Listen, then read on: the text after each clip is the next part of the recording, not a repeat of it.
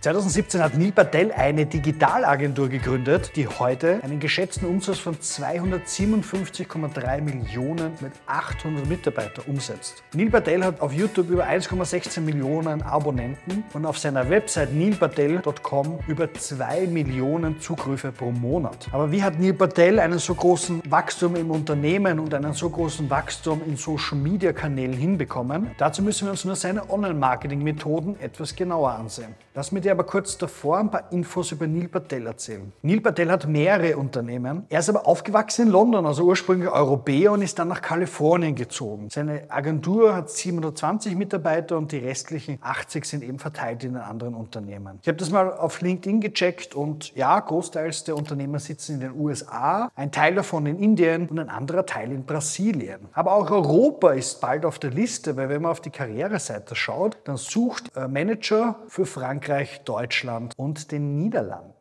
Wirkt nach einem seriösen Typ, genau nach meinem Geschmack, denn auch wir wollen international wachsen. Seine anderen Firmen, die du vielleicht schon mal gehört hast, auf der einen Seite Kissmetrics.io, ein Webanalyse-Tool, der andere Crazy Egg, ein AB-Testing-Tool. Nummer drei ist Ubersuggest, ein echt cooles, fast kostenfreies SEO-Tool, das du dir unbedingt mal anschauen solltest. Und Answer the Public, ein Keyword-Tool oder Frage-Antwort-Tool auch für den Bereich SEO primär. Schauen wir uns mal seine Online-Marketing-Kanäle an. Er hat auf der einen Seite YouTube mit 1,16 Millionen, Instagram mit 423.000 Follower, LinkedIn mit 498.000 Leuten, Twitter mit auch über 446.000 Follower, Facebook eine Million Follower, der Podcast Marketing School mit Folge 2458 und laut eigener Aussage über 1,5 Millionen Downloads, nilpatel.com über 2 Millionen organische Zugriff pro Monat und eine Neil Patel Newsletter, wo es leider keine öffentlichen Zahlen gibt, wie viele Abonnenten diesen bekommen. Viele, viele Kanäle, irgendwo zwischen halbe Million und Million, scheint so erfolgreich, aber die Frage ist, wie kommen wir dorthin? Und dazu müssen wir uns einfach anschauen, wie Neil Patel diese Kanäle bedient. Aktuell publiziert Neil Patel ca. drei Videos pro Woche auf seinem YouTube-Channel. Das ist sogar das Versprechen des YouTube-Banners, dreimal zu publizieren. Die Videos sind immer zwischen 11 und 30 Minuten lang und manchmal Szenen einfach aus Vorträgen, die er hält, manchmal so Talking Head-Situationen, so wie du sie hier siehst, oder ähnliches. Auch YouTube Shorts verwendet er, das Kurzfilmformat, das er dann auch für andere Kanäle verwenden kann.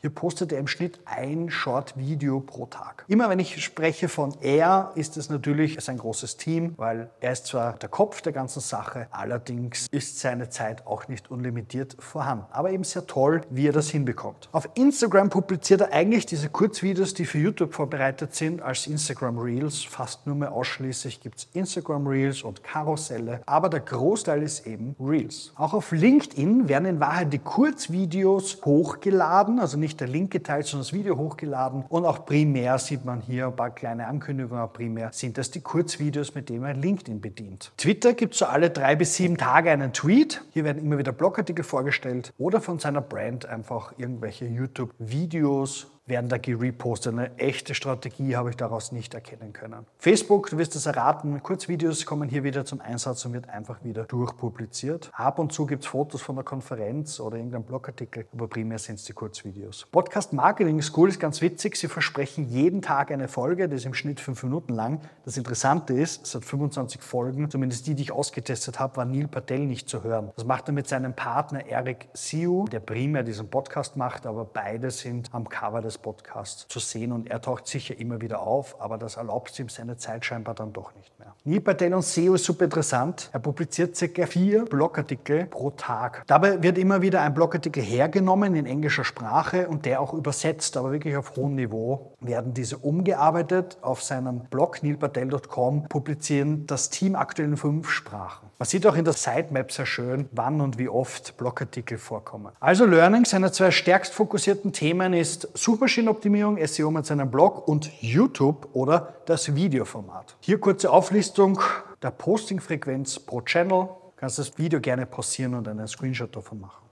Das ist schon eine ganze Menge Content. Aber es zeigt eigentlich, dass die Fähigkeit, wie viel qualitativen Content du eben publizieren kannst, irgendwo korreliert mit deinem wirtschaftlichen Erfolg. Was ist denn deine Meinung dazu? Poste dazu mir gerne einen Kommentar unter diesem Video. Deswegen solltest du aus meiner Sicht in Video, Audio oder geschriebenen Content deine Zeit und Geld investieren. Wenn du ähnlich massiv wachsen möchtest und eine gute SEO-Agentur suchst, dann schreib uns gerne eine E-Mail an office.digital.com und lass uns einfach ein Gespräch führen. Für das Thema Video kann ich unsere Partneragentur Fugo Media empfehlen und für das Thema Podcast unsere Partneragentur The Voice Agency. Hier sieben Learnings, die ich für dich gefunden habe. Er macht eigentlich schon seit vielen Jahren oder Jahrzehnten Online-Marketing. Erst 2017 hat er die Agentur gegründet. 2007 hat er den ersten Blog Quicksprout erfolgreich gemacht. Also auch hier war der schnelle Erfolg nicht da. Im Herzen ist er SEO. Das merkt man bei vielen Projekten. Eins der Public hat er für 9 Millionen Dollar gekauft. Das war ein sehr schlauer Schachzug. Wer es aber nicht jeder versteht, den Wert dieses Tools. Er dachte eigentlich von Anfang an, natürlich bedingt der englischen Sprache, in fünf Sprachen oder in mehreren Ländern zu denken. Und ich glaube, das ist ein Wachstumspotenzial, wo auch It Helps bald gehen möchte. Er versteht die Kraft von kostenfreien Tools. Ubersuggest war sehr lange kostenfrei oder ist es noch immer teilweise. Einzel the Public und ganz viele auch kleine Tools helfen ihm dabei, tägliche Besucher zu bekommen, Backlinks und so weiter. Ganz viele Dinge, die für SEO super wichtig sind. Er versteht auch, wie wichtig regelmäßiger Output ist. Also er committet sich ja tatsächlich pro Kanal eine gewisse Qualität Qualität oder Quantität hinzubekommen. Und spannend ist, er baut eigentlich nicht alles auf eine Brand auf, also auf einen Firmennamen, sondern eigentlich alles auf ihn als Neil Patel, also auf eine Personal Brand. Wir Menschen bauen nämlich eine schnellere Beziehung zu anderen Menschen auf als zu Marken und das ist ein sehr schlauer Schachzug. Er hat am Anfang Dutzende Gastartikel geschrieben. Also zum Beispiel bei HubSpot hat er regelmäßig publiziert, um einfach gesehen zu werden, Autorität zu sein und am Ende des Tages vielleicht den einen oder anderen Link zu bekommen. Dir hat das Video gefallen, deswegen freue ich mich, wenn du diesem Video ein Like oder einen Daumen hoch gibst. Wenn dich interessiert, Agentur zu beauftragen oder eine SEO-Agentur, dann empfehle ich dir einer dieser Videos dir im Anschluss anzuschauen. Ich freue mich, dich bald im nächsten Video wieder begrüßen zu dürfen.